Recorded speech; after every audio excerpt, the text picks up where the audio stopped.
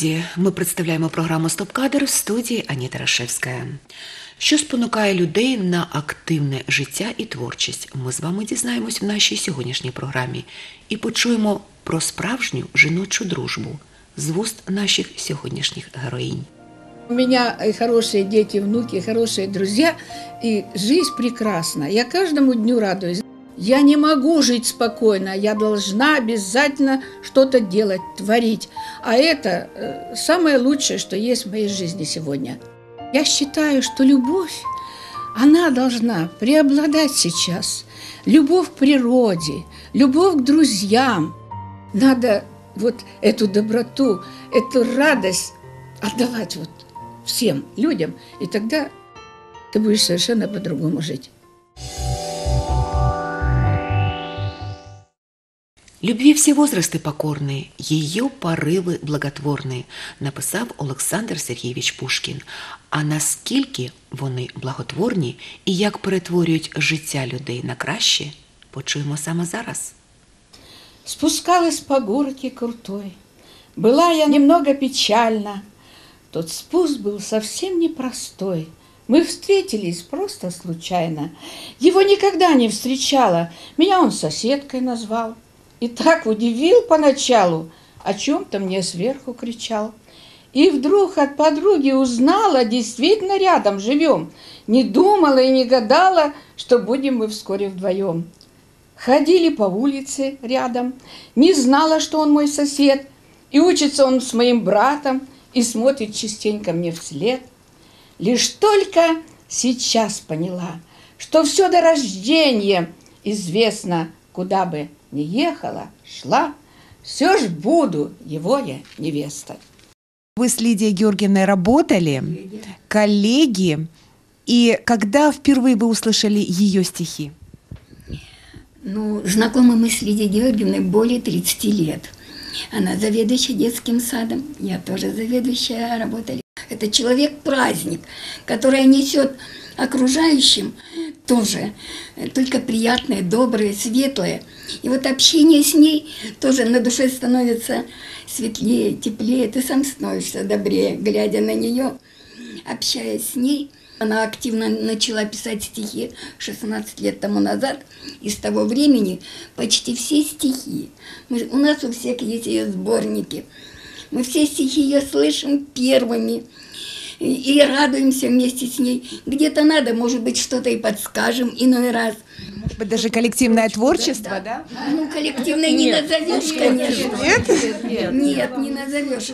Такие комментарии делают. Но а мы очень думаю, переживаем за нее, очень ее любим. И она действительно настолько позитивный человек, что заражает своей. Тут о ней можно говорить не только как о поэтессе, но и как о человеке, потому что она в какой-то степени наш движитель. И физическое развитие, и, ну, я, и песни, и музыка, и все, все у нее получается. Ну вот людям надо обязательно, чтобы был человек, который бы всех... Давала Да. Да, и вот я бы еще хотела, у нас рядом с вами сидит дама в голубом. Если вы позволите, несколько слов, чтобы вы тоже сказали. Я скажу немножко тоже о ней, конечно, о ней, но немножко в другом плане. Вот у Тютчева есть такие строчки, нам не дано предугадать, как слово наше обернется. Так вот, ее слово, ее стихи, ее поэзия, ее песни оборачиваются в душе каждого человека самым прекрасным образом. Где бы мы, вот ее творческие вечера, где бы мы ни выступали, на презентациях, и люди слушают с огромным вниманием и откликаются, они подходят после этого и просят, ну, дайте, дайте почитать, если у меня, допустим, напечатано, я читаю со сцены, там, это, вот, дайте, пожалуйста, ее стихи. Да, мы просто раздаем ее стихи, вот. Многие приобретают ее книжки. То есть людям интересно. В сердцах людей ее стихи, ее песни, ее мысли и чувства находят отклик. И вот это самое главное. Ей есть что сказать.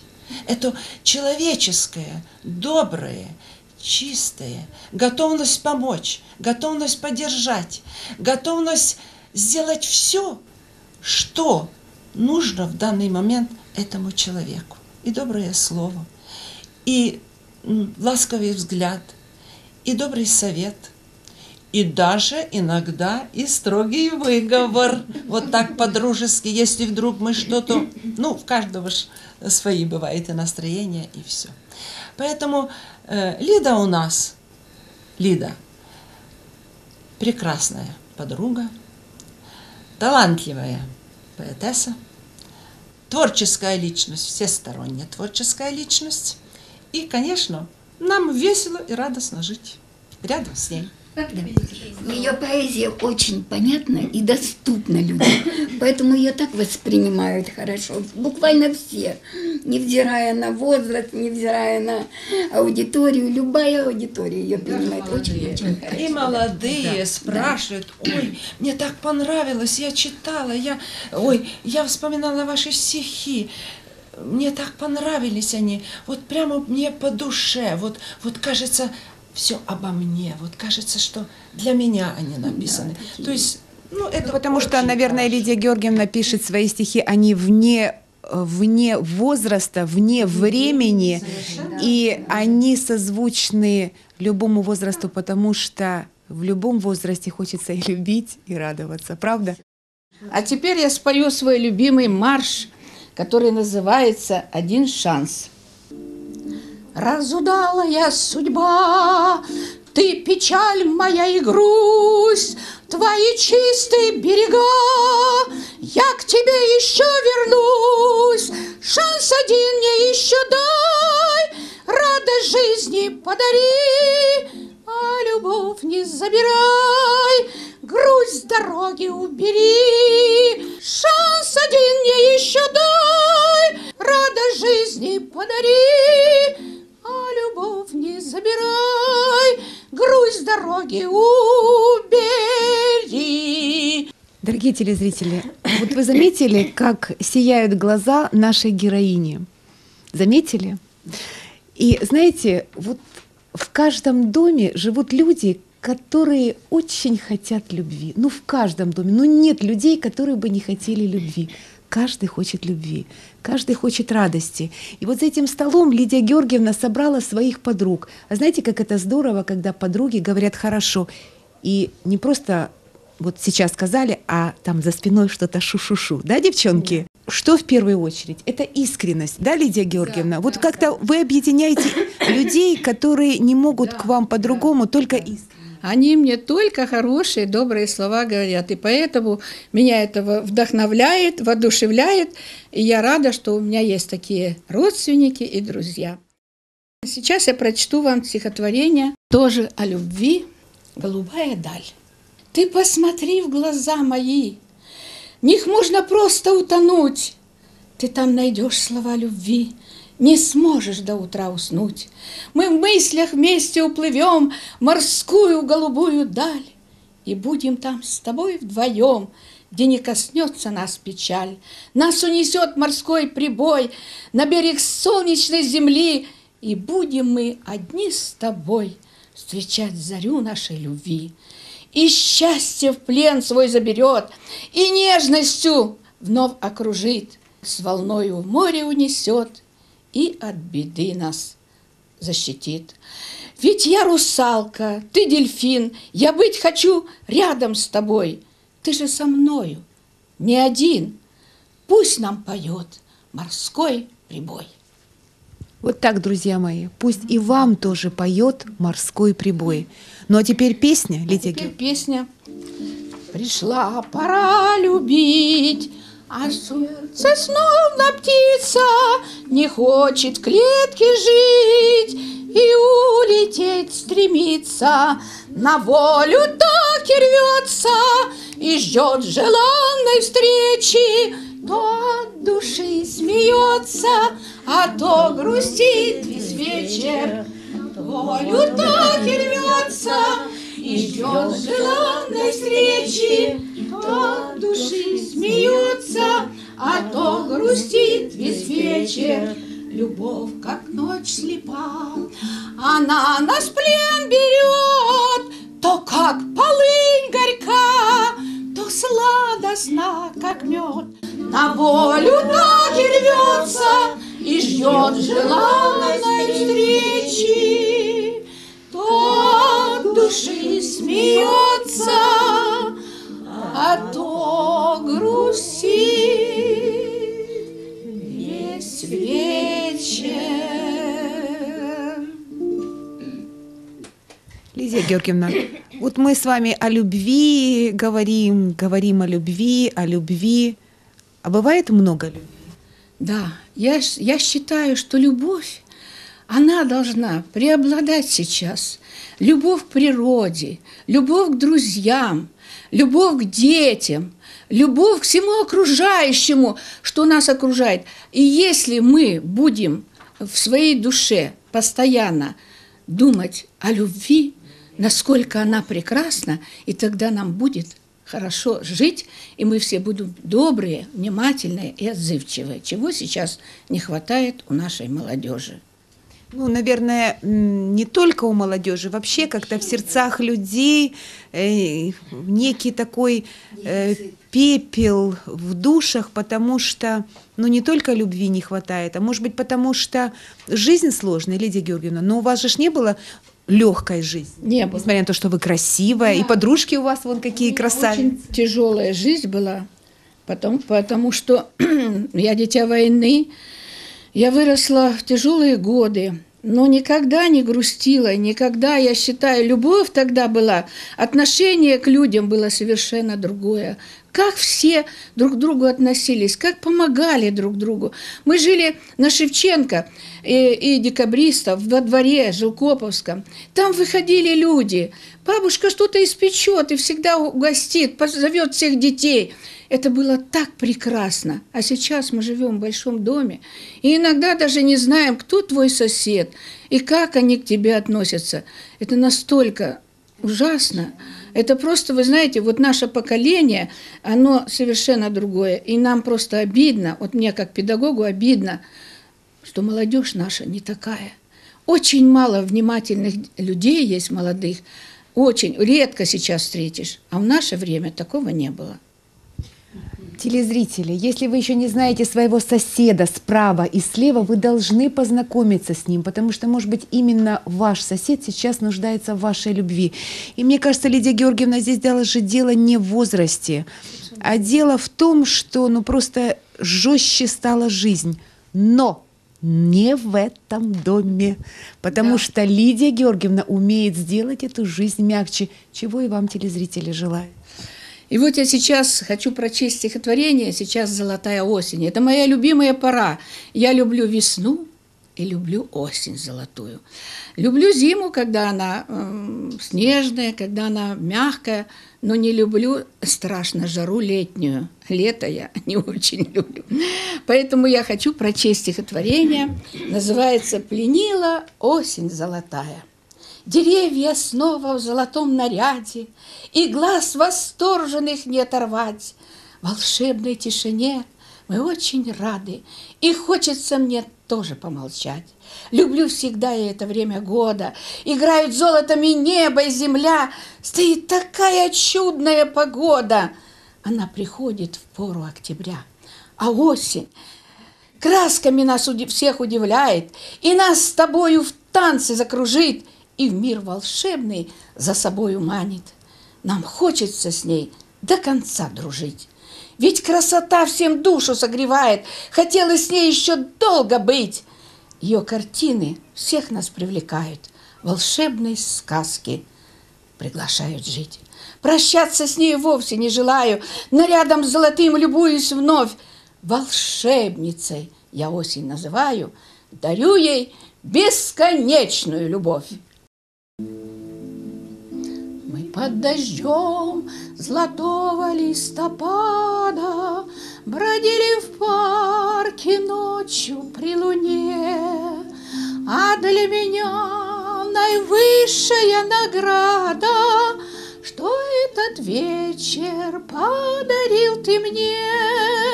С тобою рядом сердце замирает, Мне кажется, цветут вокруг сады, А листопад весь золотом сияет, нам дарит он волшебные цветы. Листопад весь золотом сияет, нам дарит он волшебные цветы. Прошу тебя, не уходи, любимый, ведь ты сегодня будешь только мой. Пусть нашей встречи свет неотразимый всегда горит счастливою звездой. С тобою рядом сердце замирает, мне кажется, цветут вокруг сады, листопад весь золотом сияет, нам дарит он волшебные цветы. Прошу тебя, ну будь со мною рядом, одну меня, меня боготвори, а на ковре под сенью листопада мне о любви весь вечер говори. С тобою рядом сердце замирает, мне кажется, цветут вокруг сады, а листопад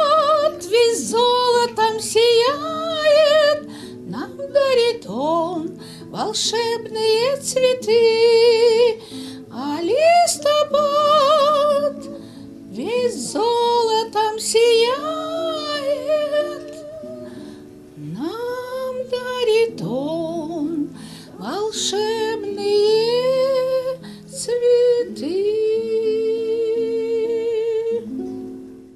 Друзья мои, Лидия Георгиевна читает свои стихи из ее сборника Который Как- называется «Неиссякаемый родник». «Неиссякаемый родник». За Вы год я написала здесь 125 песен, 125 стихотворений. За год. Явите стихотворение. А? Явите его миру.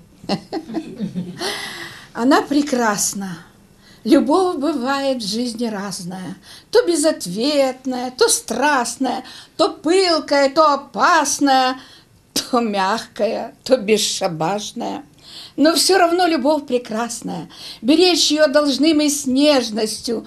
Она как зорька в небе ясная, как роза, пахнущая свежестью.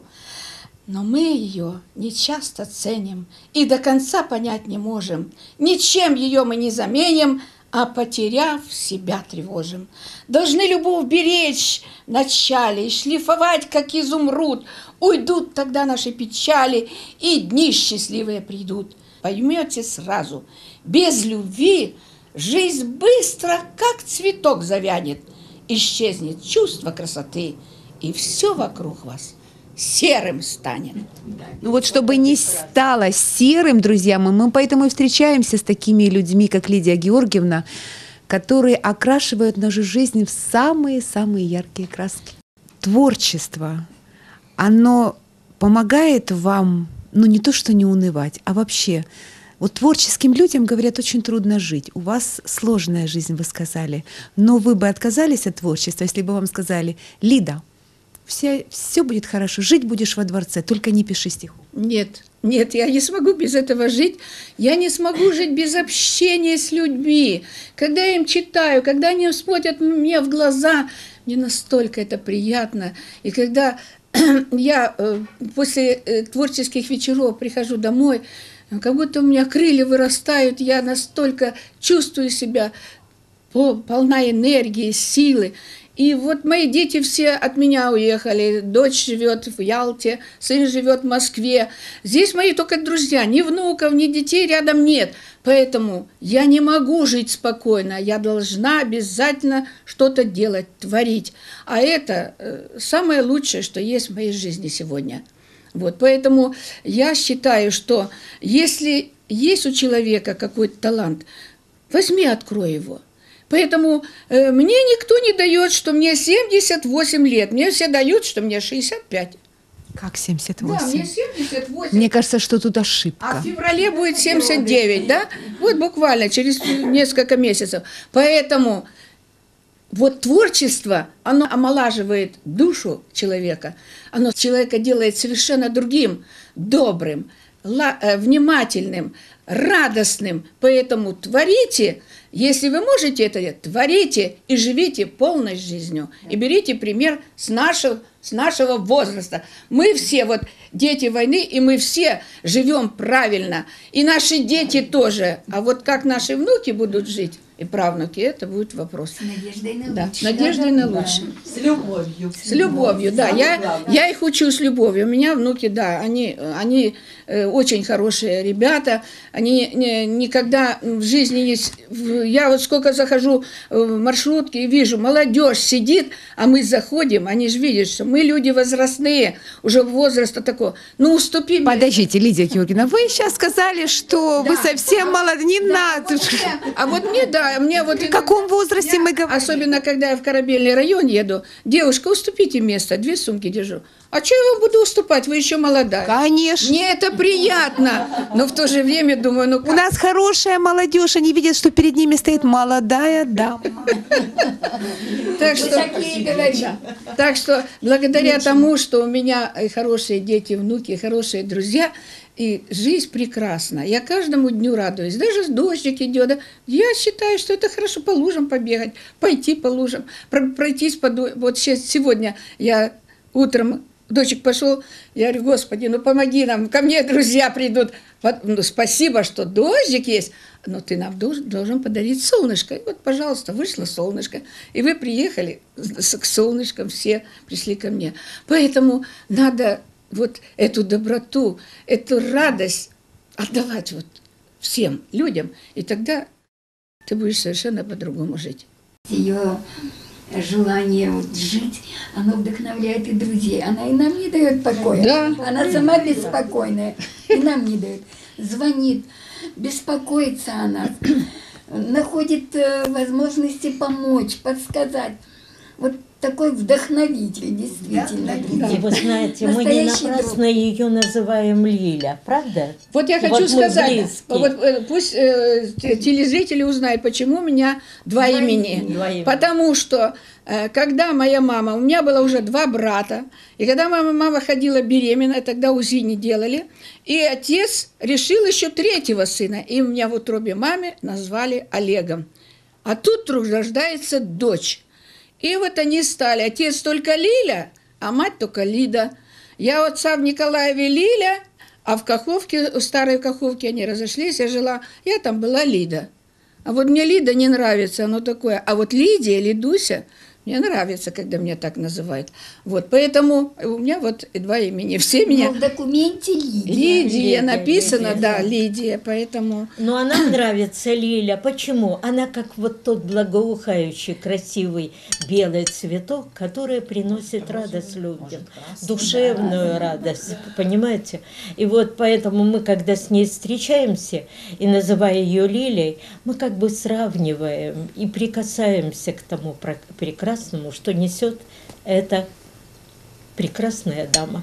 Вернуть бы нам те времена назад и снова жить в покое с надеждой, и вечерами смотреть на звездопад, и в будущее верить, как и прежде, чтоб исполнялись все наши мечты, чтоб все красивое нас окружало, чтобы могли дойти до той черты, где в жизнь счастливая нас ожидала, чтобы в сердцах жила всегда любовь, и вот тогда жизнь по-другому станет.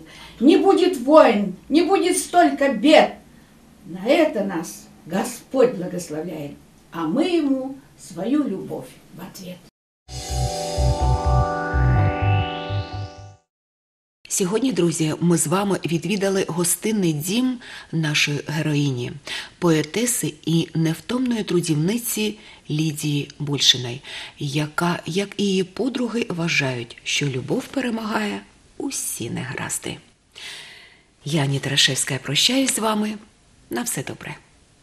Шанс один мне еще дай, радость жизни подари, а любовь забирай, грусть дороги убери, шанс один мне еще дай, радость жизни подари, а любовь не забирай.